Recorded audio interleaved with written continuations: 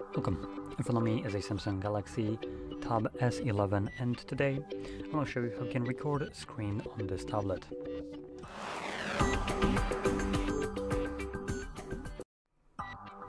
So to get started you will want to swipe down from the top right side of your screen and somewhere here you'll find a bunch of toggles, one of them being the screen recorder. For me it is right over here. Once you see it, you can simply tap on it. It will ask you what kind of media you want to record, or sound to be more precise. And we have none, media, and media and mic. I'm gonna stick with the default one. You also have the option to show touch uh, touches and taps on the, the screen as a semi-transparent gray dot. Uh, anyway, I'm gonna select start recording. It's a 3 second countdown which we can skip. And you can see it's now recording with a timer. So we can open up some applications or record with those. So there is a limit to it. Some apps will not allow you to record them. Uh, I'm just to open up one as an example, which is this garbage. Um, now, you can see it's telling me to sign in right here. So there is something visible on the page. Well, let's close this. Let's stop the recording. And to play back your recording once it's saved, you can navigate into your into our gallery application, and you can see it right here. But it also might be easier to go into albums, and in albums you will find screen recording album, in which obviously you will find just screen recordings and nothing else. So here's the one that I have captured.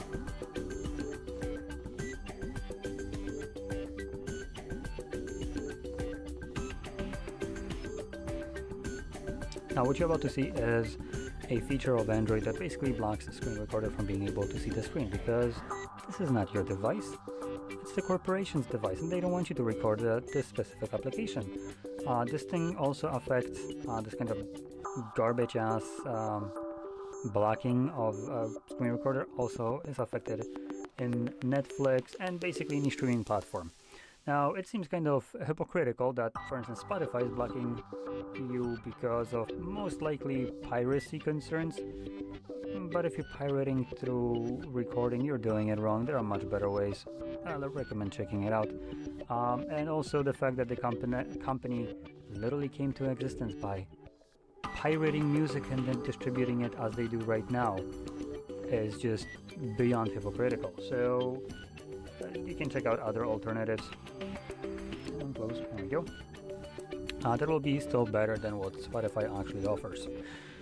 Now, anyway, um, unfortunately, there is no way for you to know that certain application is blocking you. Samsung doesn't give us this uh, nice information. Some devices do get the pop-up that basically screen recording is blocked or whatever, so you will end up with the black screen like you've seen here.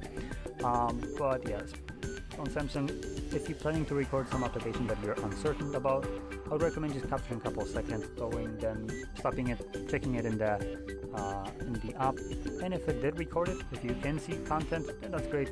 You can just actually fully record it. Anyway, with that being said, hopefully you found this video helpful, and if you did, don't forget to hit like, subscribe, and thanks for watching.